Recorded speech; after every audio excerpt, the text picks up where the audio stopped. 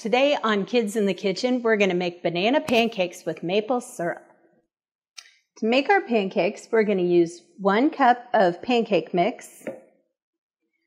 We're going to mix in one banana that we mashed up.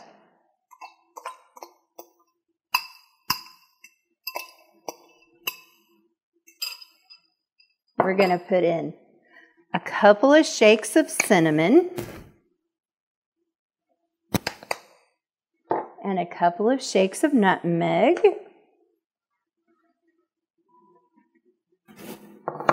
And then we're going to put in a little bit of milk and stir it up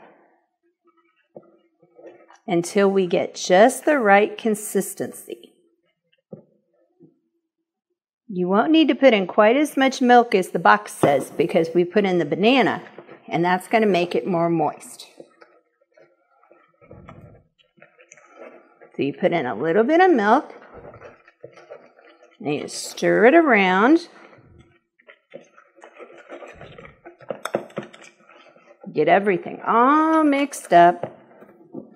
And put in just a little bit more milk so it's just runny enough. You don't want it to be too stiff because then you won't be able to scoop your pancakes into the pan. But if you make it too runny, then your batter is going to run all over the pan. So you have to make sure it's just right. So once you get it there, you want to take a spoon and check, and it needs to be just about like that. So it falls off the spoon, but not too fast. So then you take your whisk out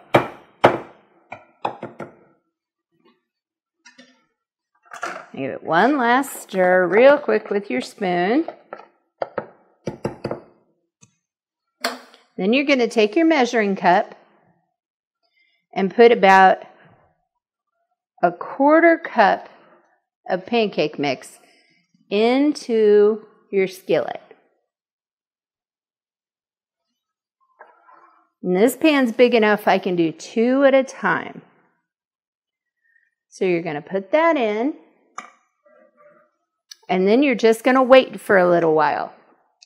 Once you start to see little bubbles on the top, that means you're almost ready to turn them. And your bubbles are going to pop, and that lets you know that the bottom of your pancake is set. So you can flip it over.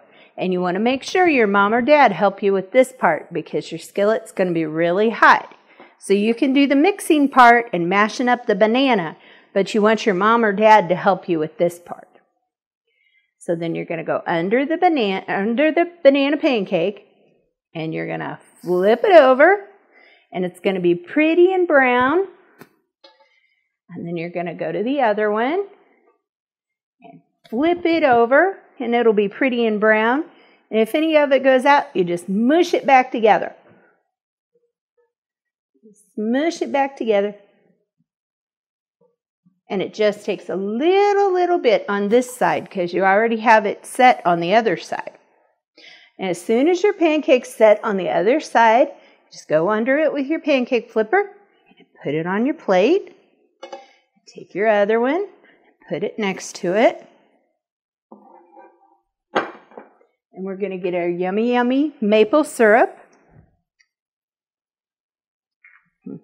And we're going to do maple syrup because this week we're talking about trees, and that's where syrup comes from. They tap the trees, and the syrup comes out, and that's where we get maple syrup for our delicious pancakes. So we're going to take it and put just a little bit because you have the banana in there, so they're pretty sweet already. So you're going to have your banana pancakes with your maple syrup. I'll see you next time.